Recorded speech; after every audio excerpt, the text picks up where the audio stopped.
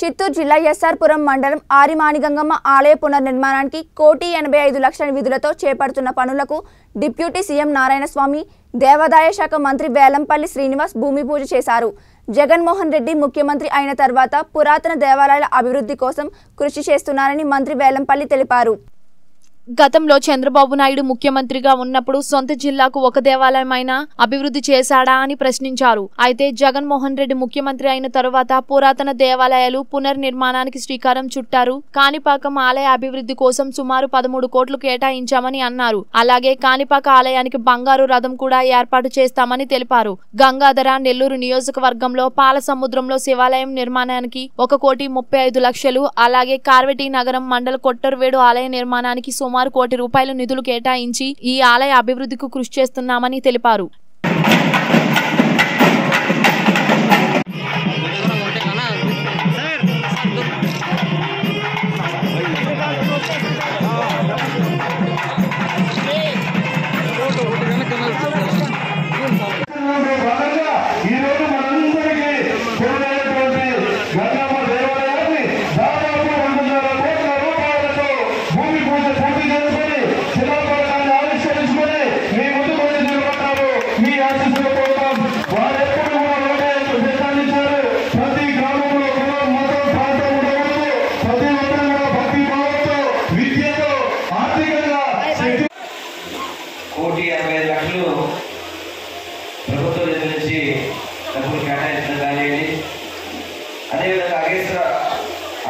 స్వామి దేవస్థానం ఒక లక్ష కానివ్వండి.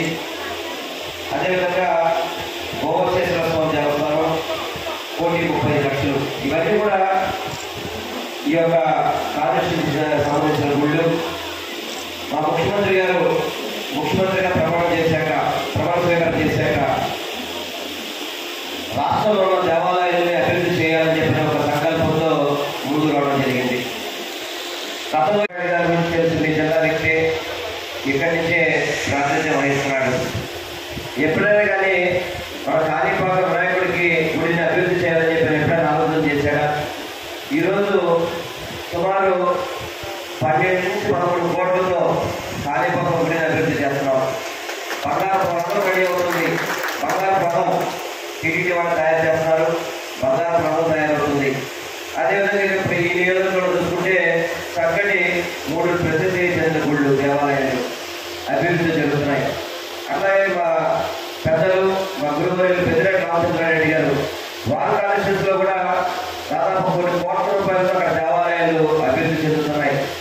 ఎక్కడ అవకాశం ఉంటే ఎక్కడ ఏ విధంగా కనుక దేవాలయానికి అభివృద్ధి చేసే అవకాశం కనిపిస్తే అక్కడ అభివృద్ధి చేయండి అని చెప్పి మా ముఖ్యమంత్రి గారి పిలుపు గారికి ఇవన్నీ కూడా చేస్తున్నామని చెప్పని మీ అందరికీ కూడా తెలియపరుచుకుంటున్నాను. కానీ మన తిరుపతి ఎన్నికలు మా మంత్రి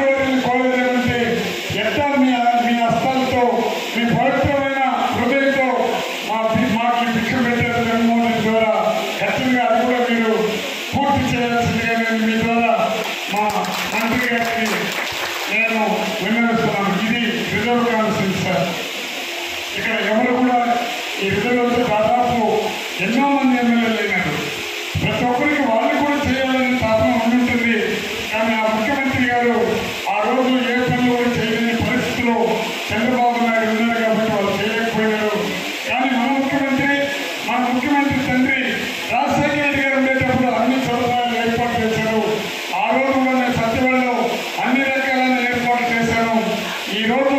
Одоогөр Бэлгийн нарууд тавтал